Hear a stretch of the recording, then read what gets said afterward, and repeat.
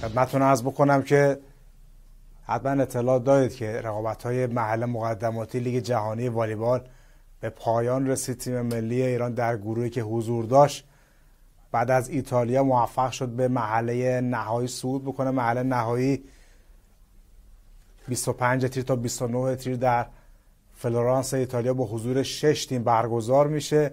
تیم ملی ایران با تیم های روسیه و برزیل هم گروه از برزیلی که در همین محل مقدماتی با هم بازی کرد با تیم ملی ایران که در تهران یه بازی رو برد و یه بازی رو باخت در برزیل به همین ترتیب.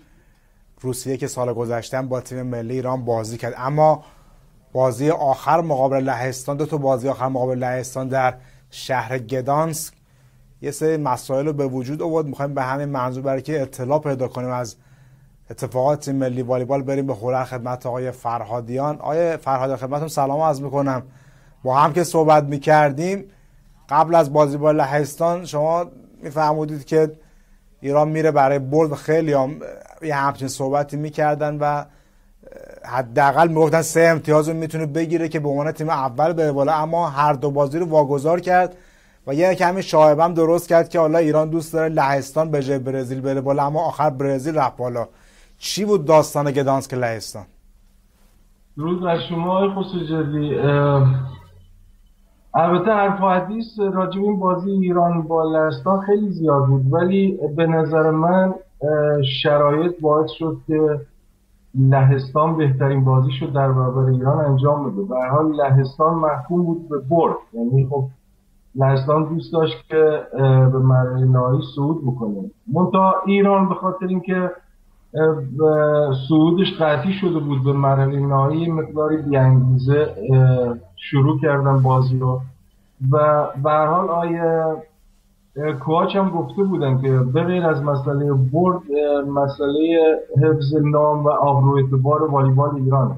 ولی خب به نظر من این شایعه درست نیست که ایران تبانی کرده بود. چون به حال اگه لهستان مرحله بعدی می اومد شاید واسه ایران راحتر بود. ایران در مرحله نهایی باید با روسیه به جنگ و با برزیل. و برزیل و روسیه این برزیلی که به مرحله نهایی صعود می‌کنه به نظر من و بقیده من در مرحله نهایی بازی های بهتری از برزیل خواهیم ولی در کل اون روز ایران نتونست اون بازی رو که قبلا یعنی در بازی لیگ انجام داده بود بتونه به نحو احسن انجام بده. ما در مسئله دریافت خیلی مشکل داشتیم دریافت اول و یکی هم در مرحله در رابطه با مسئله سرویس. به حال هر تیمی که اشتباهاتش کمتر باشه می‌دونیم که پیروز میدن آیه فرهاد خب شما اشاره فرمودی که ما تو محل نهایی باید مساف روسیه و برزیل برین رقابت هایی که در چهار روز برگزار میشه. دو تیم برتر هر گروه میرن به محله نیمه نهایی. ما با همین برزیل بازی کردیم. دو تا بازی رو برین تو بازی رو باختیم. با روسیه هم که سال گذشته بازی کردیم. تیم های اول و دوم لیگ جهانی سال گذشته الان با ایران همگروه شدن. چطور ارزیابی می‌کنید گروه که ایران درش قرار گرفته؟ بقیده من گروه سختی های خسوجردی چون می‌دونیم که روسیه و برزیل همیشه مدعی های قهرمانی مسابقات جهانی و لیگ بودن. درسته. و ما نمی‌تونیم رو اون دو مسابقه یا این سه چهار مسابقه که ایران در برابر برزیل انجام داد بگیم که برزیل امسال تیم ضعیف یا رای مسابقات نهایی خواهد کرد. به نظر من برزیل از شکستهایی که در برابر ایران داشت درس گرفته و با تمام قدرت در مسابقات نهایی شرکت خواهد کرد. ما مشکل بزرگی داریم. یعنی بقیه من ایران در گروه دیگه میافتاد یعنی گروه آمریکا و ایتالیا. نمیگیم بازی ها راحت می‌شد ولی خب این گروه به نظر من سختتر از اون گروه دیگه است.